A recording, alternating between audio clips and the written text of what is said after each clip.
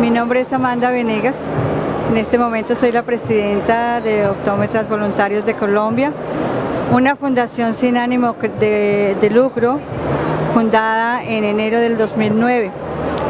Esta fundación eh, tiene como objetivo llevar los servicios de, salud visual a la población más vulnerable del país eh, principalmente en los sitios eh, que están sufriendo la violencia de nuestro conflicto armado desde hace más de 60 años.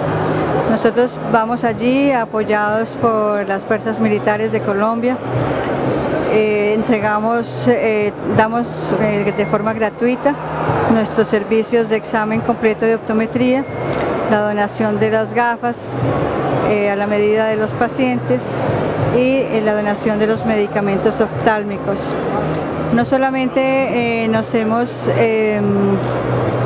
no solamente hacemos el tipo de donación a nivel profesional, también eh, llevamos donaciones como ropa, sillas de ruedas, computadores o enriquecemos de alguna manera las eh, bibliotecas de las escuelas, de los colegios, llevando libros de texto y libros de literatura.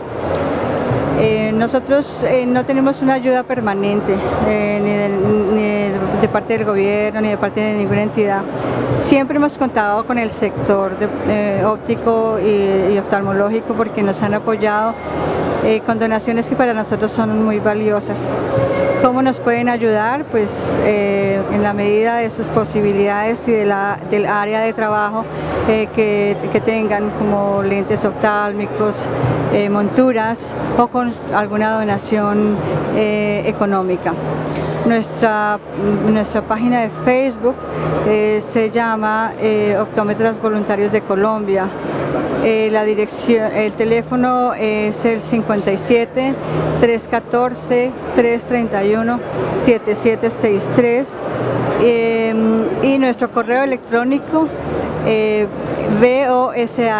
bosch.lasalle.colombia arroba gmail.com COM.